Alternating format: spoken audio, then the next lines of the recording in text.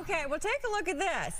Yeah, that's me. Oh! And my pal, Tracy Thompson. Reliant Energy held their annual Rodeo Roundup charity cook-off last night.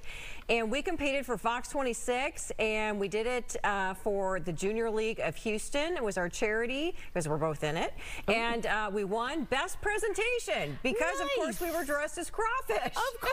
How could you not win with that get up? But we made, get a load of this, we made red hot Cajun crawfish rice dressing. Ooh. and a Sazerac cocktail. What? Yes, because Tracy is an amazing Cajun chef from Louisiana, and we went and got advice from Ruben. Like we were, uh, you know, practicing. We were on the phone with Ruben. We were like, "Tell us what to do," and he's like, "Kick it up with some crawfish." Oh, nice. So we did. Okay, I love a collab. You made that happen. Yeah, it was a lot of fun, and it was really awesome that Reliant supports so many local charities by doing this. So we're really excited that we raised all that money for Junior League, and other charities are benefiting as well. Yes, congrats. And you looked mm-hmm. fabulous doing it. it was fun. It was a lot of fun.